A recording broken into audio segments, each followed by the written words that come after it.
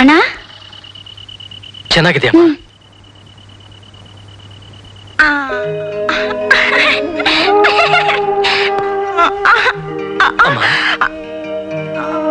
ಊಟ ಆಯ್ತಮ್ಮ? ಊಟ ಮಾಡ್ದ್ಯಮ್ಮ ಮೂರು ದಿವಸದಿಂದ ಊಟನೇ ಮಾಡಿಲ್ಲಣ್ಣ. ಹೋಗ್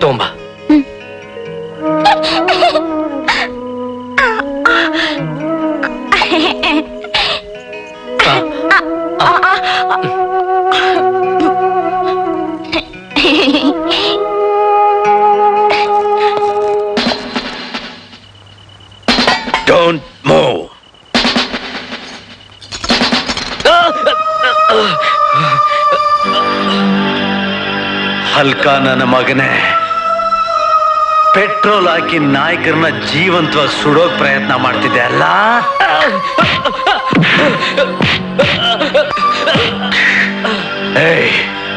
ನೀನೇನ್ ರೌಡಿ ಏನೋ ಇನ್ನೊಂದ್ ಸರಿ ನೀನೇನಾದ್ರೂ ನಾಯಕರ ತಂಟೆಗೆ ಹೋದ್ರೆ ನಿನ್ನ ನರ ಕತ್ತರಿಸಿ ನರ ಸತ್ತ ನಾಮರ್ದನ್ ಮಾಡ್ಬಿಡ್ತೀನಿ ನನ್ನ ಮಗನೇ. ಡಾಕ್ಟ್ರೆ ಡಾಕ್ಟ್ರೆ ನಮ್ಮ ಅಣ್ಣನ ಇನ್ಸ್ಪೆಕ್ಟರ್ ಹೊಡೆದು ಹೇಳ್ಕೊಂಡು ದಯವಿಟ್ಟು ನಮ್ಮ ಅಣ್ಣನ್ ಕಾಪಾಡಿ ಡಾಕ್ಟ್ರೆ. ಯಾಕೆ? ಯಾಕೆ ಅಂತ ಗೊತ್ತಿಲ್ಲ. ಬಾ ನನ್ ಜೊತೆ. ಅವ್ರು ನೀರ್ ನೀರು ಕುಡ್ಸೋ. ಇನ್ಸ್ಪೆಕ್ಟರ್ ಅಣ್ಣ. ಇನ್ಸ್ಪೆಕ್ಟರ್ ಕಾರಣ ಇಲ್ಲದೆ ಒಬ್ಬ ಪ್ರಜೆನ ಈ ರೀತಿ ಕರ್ಕೊಂಬಂದು ದೌರ್ಜನ್ಯ ಮಾಡೋ ತಪ್ಪು ಅಂತ ನಿಮಗೆ ಗೊತ್ತಿಲ್ಲ? ಯಾವ ಕಾರಣಕ್ಕೆ ವಿಷ್ಣು ಕರ್ಕೊಂಬಂದ್ರಿ? ಕಾರಣ ಬೇಕಾ? ಅದನ್ ಕೇಳೋಕ್ ನೀವ್ಯಾರೋ? ನಾನೊಬ್ಬ ನಾಗರಿಕ. ನೀವು ಕಾಕಿ ಬಟ್ಟೆ ಹಾಕೊಂಡ್ ಮಾತ್ರಕ್ಕೆ ಈ ರೀತಿ ಅಮಾಯಕ ಪ್ರಜನ ಕರ್ಕೊಂಬಂದು ದೌರ್ಜನ್ಯ ಮಾಡಿದ್ರೆ ಅದನ್ನ ಕೇಳ ಹಕ್ಕು ಪ್ರತಿಯೊಬ್ಬ ನಾಗರಿಕನಿಗೂ ಇದೆ. ಅದನ್ನೇ ನಾನು ಕೇಳ್ತಾ ಇದ್ದೀನಿ. ಮರ್ಯಾದೆಯಾಗಿ ವಿಷ್ಣುನ ರಿಲೀಸ್ ಮಾಡಿ.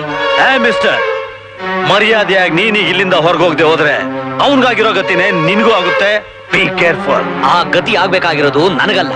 ದುಡ್ಡಿರೋರ್ ತಪ್ಪಾಳಿಕೆಗೆ ತಲೆ ಬಾಗಿಸಿ ಅವ್ರು ಕೊಡೋ ಎಂಜಿಲ್ ಕಾಸು ಕೈ ಒಡ್ತಿರಲ್ಲ ನಿಮ್ಮಂತವ್ರಿಗೆ ವಯಸ್ಸುಡೆ ಕಾಕಿ ಬಟ್ಟೆ ಹಾಕಿಲ್ಲ ಮಾತ್ರಕ್ಕೆ? ಕಾನೂನು ಗೊತ್ತಿಲ್ಲ ಅಂತ ತಿಳ್ಕೊಂಡ್ಬಿಡ್ತೀರಾ ನಾನು ಎಜುಕೇಟೆಡ್ ವಾರಂಟ್ ಇಲ್ದೆ ಒಬ್ಬ ವ್ಯಕ್ತಿನ ಅರೆಸ್ಟ್ ಮಾಡಿದ್ದು ಮೊದಲನೇ ತಪ್ಪು. ಅರೆಸ್ಟ್ ಮಾಡಿದ ವ್ಯಕ್ತಿನ ಪಬ್ಲಿಕ್ ಅಲ್ಲಿ ಟಾರ್ಚರ್ ಮಾಡಿ ಹೇಳ್ಕೊಂಡ್ಬಂದಿದ್ದು ಎರಡನೇ ತಪ್ಪು. ರಿಟರ್ನ್ ಕಂಪ್ಲೇಂಟ್ ಇಲ್ಲದೆ ಚಾರ್ಜ್ ಶೀಟ್ ಆಗದೆ ಅರೆಸ್ಟ್ ಮಾಡಿದ ವ್ಯಕ್ತಿನ ಲಾಕಪ್ ಹಾಕಿ ಚಿತ್ರಹಿಂಸೆ ಮಾಡಿದ್ದು ಎಲ್ಲದಕ್ಕಿಂತ ದೊಡ್ಡ ತಪ್ಪು. ವರ್ಷ ಪೂರ್ತಿ ಟ್ರೈನಿಂಗ್ ತಗೊಂಡು ಸಬ್ ಇನ್ಸ್ಪೆಕ್ಟರ್ ಆಗಿರೋ ನನಗೆ ನೀನು ಕಾನೂನು ಲಾ ಏನು ಅಂತ ಪಾಠ ಹೇಳೋಕ್ ಬಂದಿದ್ಯಾ ನಿಮ್ಮ ಪಾಠ ಹೇಳಕ್ ಬಂದಿಲ್ಲ ಇನ್ಸ್ಪೆಕ್ಟರ್. ನಿಮ್ಮಿಂದ ದೌರ್ಜನ್ಯಕ್ಕೊಳಪಟ್ಟ ವ್ಯಕ್ತಿನ ಬಿಡಿಸ್ಕೊಂಡು ಹೋಗಕ್ ಮರ್ಯಾದೆ ಮರ್ಯಾದೆಗೆ ಅವನ್ನ ರಿಲೀಸ್ ಮಾಡ್ತೀರಾ ಇಲ್ವಾ? ಇಂಪಾಸಿಬಲ್ ನಾನು ಇವನ್ ಬಿಡೋಲ್ಲ ಅಂದ್ರೆ ನೀನೇನ್ ಮಾಡ್ತೀಯ? ಏನು ಮಾಡಲ್ಲ. ಹೀಗೆ ಸ್ಟೈಲ್ ಆಗಿ ಚೇರ್ ಹಾಕೊಂಡ್ ಕುತ್ಕೋತೀನಿ. ಮಿಕ್ಕಿ ದಿನ ನಮ್ ಜನ ಮಾಡ್ತಾರೆ. ಅರ್ಥವಾಗಿಲ್ಲ ಹೋಗಿ ನೋಡು.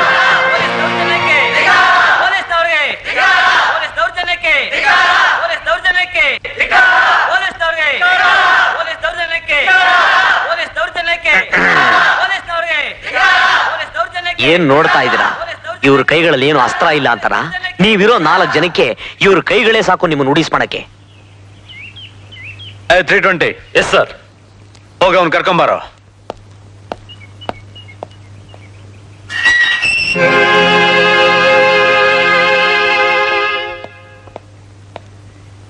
Mister doctor Pashupati. ಇನ್ಮೇಲಾದ್ರೂ ಈ ಪುಂಡಾಟಿಕೆನೆಲ್ಲ ಬಿಟ್ಟು ಮರ್ಯಾದೆಯಾಗಿರೋಕೆ ಹೇಳಿ ಹ್ಮ್. ಅದನ್ನ ನೀವು ಕಲ್ತ್ಕೊಂಡ್ರೆ ಊರಿಗೂ ಡಿಪಾರ್ಟ್ಮೆಂಟ್ಗೂ ಮರ್ಯಾದೆ. ಬರ್ತೀನಿ.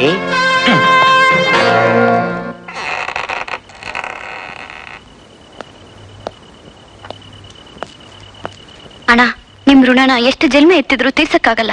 ಸಮಯಕ್ಕೆ ಸರಿಯಾಗಿ ಬಂದು ನಮ್ಮ ಅಣ್ಣನ್ ಕಾಪಾಡಿದ್ರಿ.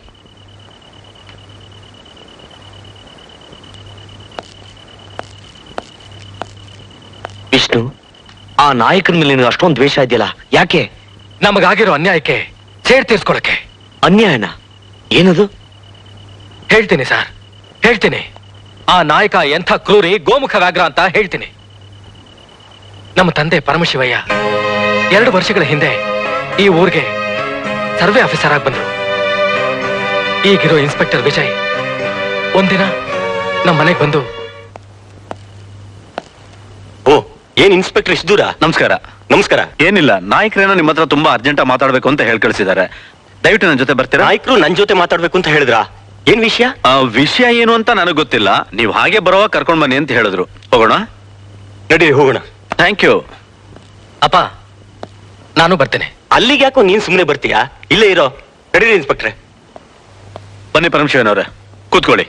ಇನ್ಸ್ಪೆಕ್ಟ್ರೆ ನನ್ನನ್ನ ಯಾಕೆ ಇಲ್ಲಿ ಕರ್ಕೊಂಬಂದ್ರಿ ಅದನ್ನ ನಾನು ಹೇಳ್ತೀನಿ ಪರಮಶಿವನವ್ರೆ. ತಗೊಳ್ಳಿ ಈ ಹಣನ. ಯಾಕೆ? ಅದೇ ರೀ ಸರ್ಕಾರದ್ದು ನಮ್ಮೂರ್ನಲ್ಲಿ ಐನೂರು ಎಕರೆ ದರ್ಖಾಸ್ ಜಮೀನ್ ಇದೆಯಲ್ಲ ಅದನ್ನೆಲ್ಲ ಬಡವ್ರಿಗೆ ಹಂಚಿ ಅಂತ ಸರ್ಕಾರದವ್ರು ನಿಮ್ಗೆ ವಹಿಸಿದಾರಲ್ಲ? ಹೌದು. ಹಂಚಿ. ಬಡವ್ರಿಗಲ್ಲ ನನಗೆ. ಅಂದ್ರೆ? ಅಂದ್ರೆ ನಮ್ ನಾಯಕರಿಗೆ ಆ ಜಮೀನಲ್ಲಿ ಒಂದು ಕಾಯಿನಾರನ್ ಫ್ಯಾಕ್ಟರಿ ಓಪನ್ ಮಾಡಿ ಒಂದ್ ಐನೂರು ಕುಟುಂಬಕ್ಕೆ ಅನ್ನ ಸಿಗೋ ಹಾಗೆ ಮಾಡೋಣ ಅನ್ನೋ ಆಸೆ. ಓಹೋ ಬಹಳ ಒಳ್ಳೆ ಕೆಲಸ ಮಾಡ್ತಾ ಇದ್ದೀರಾ.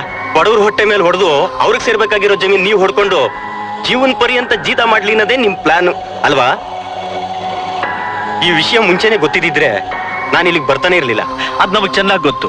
ಅದಕ್ಕೆ ನಿಮ್ ವಿಷಯನ ಅಲ್ಲಿ ತಿಳಿಸ್ದೆ. ಇಲ್ಲಿವರೆಗೂ ಕರ್ಕೊಂಡ್ ಬಂದಿದ್ದು ನಾನ್ ಜೀವಂತವಾಗಿರೋವರೆಗೂ ನಿಮ್ಮ ಆಸೆನ ಈಡೇರಿಸೋದಕ್ ಬಿಡೋದಿಲ್ಲ. ಈ ವಿಷಯನ ಮೇಲಧಿಕಾರಿಗಳಿಗೆ ತಿಳಿಸಿ ಯಾವ ಬಡವರಿಗೆ ಆ ಜಮೀನ್ ಸಿಗ್ಬೇಕೋ ಅವ್ರಿಗೆ ಸಿಗೋ ಹಾಗೆ ಮಾಡ್ತೀನಿ. ನೋಡಿ ಪರಮಶಿವನವ್ರೆ ನೋಡೋದು ಗಿಡೋದು ಏನೂ ಇಲ್ಲ. ನಾನಿನ್ ಬರ್ತೀನಿ. ಏನಪ್ಪ ವಿಜಯ? ನನ್ ಜೀವ ಇರೋ ಗಂಟ ನಿಮ್ ಆಸೆ ನೆರವೇರಲ್ಲ ಅಂತ ಹೇಳ್ಬಿಟ್ಟು ಒಂಟೆ ಹೋಗ್ಬಿಟ? ಈಗೇನಯ್ಯ ಮಾಡೋದು? ಹೋಗ್ಲಿ ಬಿಡಿ ನಾಯಕ್ರೆ. ಎಲ್ಗ್ ಹೋಗ್ತಾನೆ? ಇದಕ್ಕೂ ಒಂದ್ ದಾರಿ ಇದ್ದೇ ಇದೆ. ಅವನೇನ್ ದಾರಿ ತೋರ್ಸೋದು ನಮ್ಗೆ? ಜಾಸ್ತಿ ಮಾತಾಡಿದ್ರೆ ನಾನೇ ಅವನಿಗೆ ದಾರಿ ತೋರ್ಸ್ಬೇಕಾಗತ್ತೆ. ಏನಪ್ಪ ನೀನು?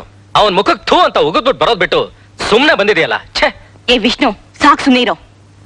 ಏನಂದ್ರೆ ಆ ಜಮೀನ್ ರಾಮದುರ್ಗದ ವೆಂಕಟಪ್ಪ ನಾಯಕನ ಕಣ್ಣಿಗೆ ಬಿದ್ದಿದೆ ಅಂತ ಮೇಲಾಧಿಕಾರಿಗಳಿಗೆ ನೀವೇ ಕಾಗದ ಬರ್ದು ಆ ಜವಾಬ್ದಾರಿನ ಅವ್ರಿಗೆ ವಹಿಸ್ಕೊಟ್ಟು ಕೈ ತೊಳ್ಕೊಂಬಿಡಿ. ಇಂಥ ಊರ್ನಲ್ಲಿ ಇವ್ರನ್ನೆಲ್ಲ ಹೆದರಾಕೊಂಡು ಬಾಳಕ್ಕಾಗೋದಿಲ್ಲ. ನಾವು ಬೇರೆ ಏನಾದ್ರೂ ಟ್ರಾನ್ಸ್ಫರ್ ಮಾಡಿಸ್ಕೊಂಡು ಹೊರಟೋಗೋಣ. ಏನ್ ಹೇಳ್ತಾ ಇದೀಯಮ್ಮ ನೀನು? ಇಂಥವ್ರಿಗೆಲ್ಲ ಹೆದರ್ಕೊಂಡು ಊರ್ ಬಿಟ್ಟು ಹೋಗಕ್ಕಾಗತ್ತಾ? ಬಡವ ರಕ್ತ ಹೀರೋ ಇಂಥ ಜಗಳಗಳನ್ನ ಜೀವಂತವಾಗಿ ಹೊಸ ಹಾಕ್ಬೇಕು. ವಿಷ್ಣು ನೀನ್ ಬಿಸಿ ರಕ್ತದ ಆವೇಶದಲ್ಲಿ ಮಾತಾಡ್ತಿದ್ಯಾ ಕಣೋ? ಆ ನಾಯಕ ಎಂತಾನು ಅನ್ನೋದು ನಿನಗೇನ್ ಗೊತ್ತು? ಬುರುಡೆ ಗಟ್ಟಿಯಾಗಿದೆ ಅಂತ ಕಲ್ಲು ಚಿಚ್ಕೊಳಕ್ಕಾಗತ್ತಾ ಏನಂದ್ರೆ ನನ್ ಮಾತು ಕೇಳಿ ಅಂದ್ರೆ? ಆಯ್ತು. ನಾಳೆನೆ ಬೆಂಗಳೂರು ಹೋಗಿ ಡಿ ಸಿ ಹತ್ರ ಮಾತಾಡಿ ವಿಷಯನೆಲ್ಲ ತಿಳಿಸ್ಬಿಟ್ಟು ಬರ್ತೀನಿ. ಏನು? ಡಿ ಸಿ ಹತ್ರ ಹೋಗ್ತಾನಂತ?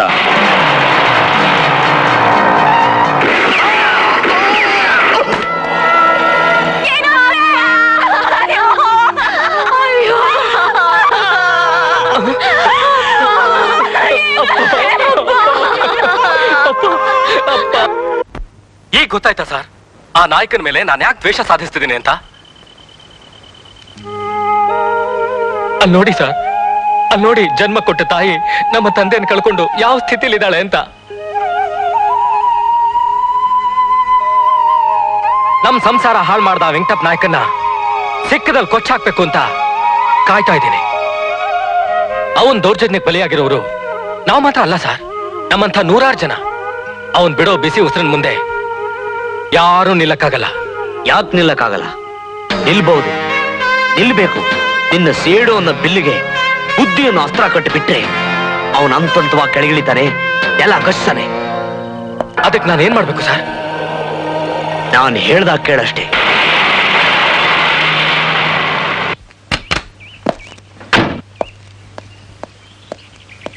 ಈ ಸರ್ಕು ವೆಂಕಟಪ್ಪ ನಾಯಕರದು. ಹೌದಾ? ಬಿಡು. ಏಯ್ ಮಾಮೂಲಿ. ತಗೊಳ್ಳಿ ಸರ್. ಏಯ್ ಬಿಡ ಬಿಡ.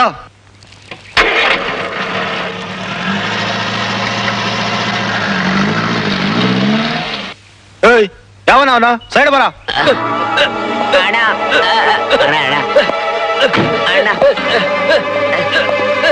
ಮೂರ್ಛೆ ರೋಗಣ ಮೂರ್ಛೆ ರೋಗಣ ಎಬ್ಬಿಸ್ಲಣ್ಣ ಹೇಳಬೇಕು ಏಣ ಇದು?